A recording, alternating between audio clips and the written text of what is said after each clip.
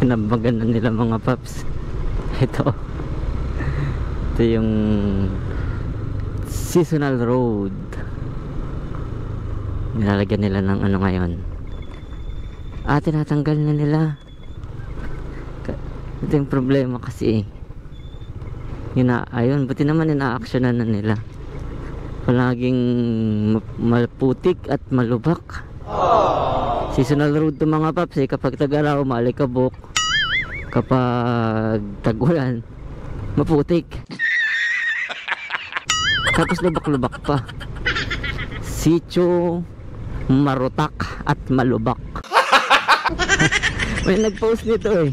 100 Island daw ng San Fernando. Ayun.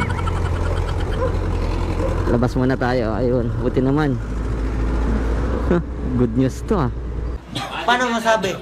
Kopya. Ikot lang mga paps.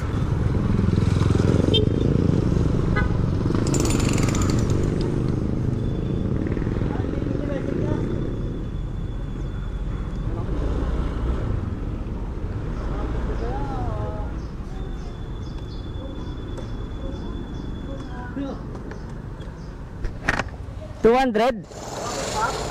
Oo.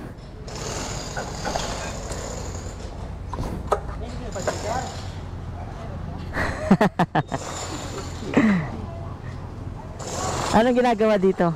Sa doon sa taas, yung tubig. Oh, ah, Dati kasi wala. oo. Dati bakal lang. Parang drainage niya lang. Ngayon nilagyan na ng parang pipe. Ayan, ang kanya. Hanggang doon sa dulo. Oh. Dati bumaba. Sticker? Ah, oo, meron.